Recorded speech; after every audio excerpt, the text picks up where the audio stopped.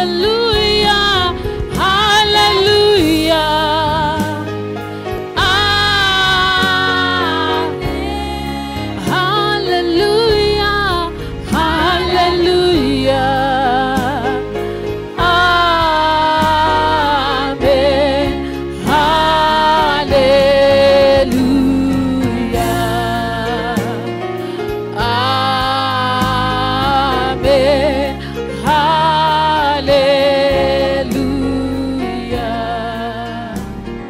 What is your problem? I'm living on this side, the window on this side. For how long has it been like that? Now for two years. For Two years. two years. So you were able to walk before, Yeah, but not really pro- proper. not proper. And since two years you cannot walk without crutches. No, but she's just having the wound, but cannot heal. Huh? It's now for for two years now, because uh, even the time she was uh, maybe four years, she was having al- also the wound on that leg. Then they can cut up to here. They wanted to cut. Papa. Oh, Okay. so Hey, she got an uh, operation. Uh, the, the the foot was cut uh, up to here. It was cut off. So due to that sickness, she had been consulting doctors of Windhoek, even the private doctors. They said that wound cannot be uh, because it was first here and it affected the other side. And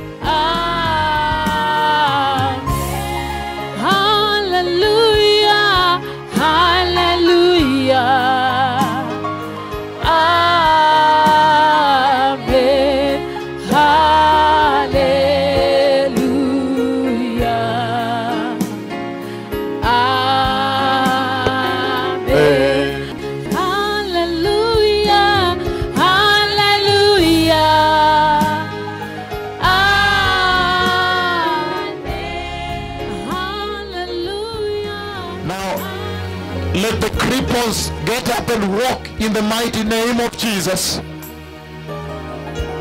As we begin this healing service, let the cripples now get up and walk. And right now, I'm lifting up my left prophetic arm towards heaven to help you. Everybody do what you could not do. That is where we should begin from. Try to do what you could not do before. Hallelujah.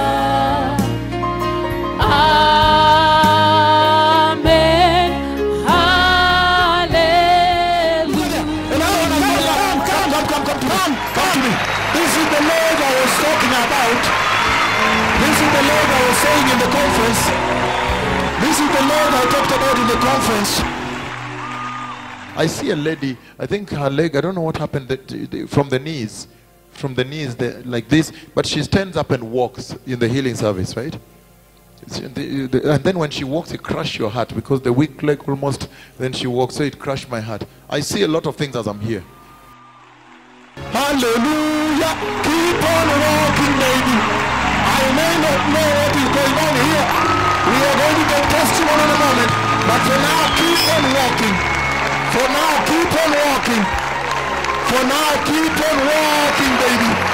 Keep on walking. Keep to me. Just walk with me. Keep on walking. I may not know what is happening, but the Lord knows everything. I may not understand much, but the Lord understands much. Hallelujah. You recorded? I recorded her. She could not walk for many years. Come, baby. Keep on walking. Let us not stop walking.